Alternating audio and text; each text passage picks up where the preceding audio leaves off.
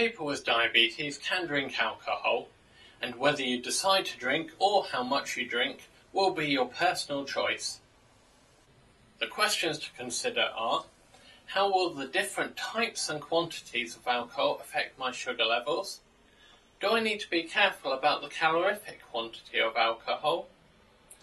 How careful do I need to be about the other health risks associated?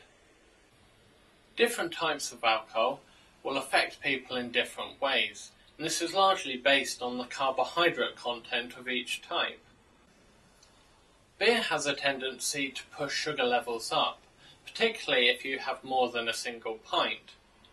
Wines tend to have less carbohydrate than beers, so will usually have a less pronounced effect on blood sugar levels.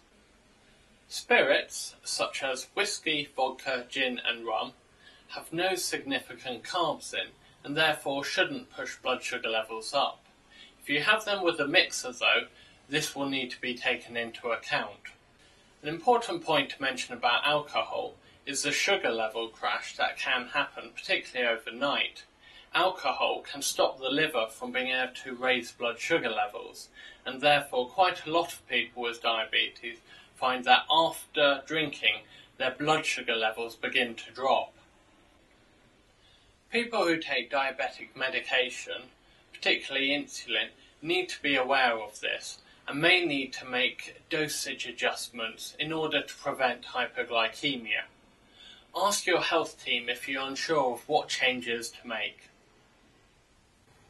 Alcohol has a significant number of calories, and so if you're watching your weight, you may choose to limit your alcohol intake. Alcohol can cause damage to organs such as the liver, heart, pancreas, and even the skin. As people with diabetes are more susceptible to organ damage, you may want to limit your alcohol intake for this reason.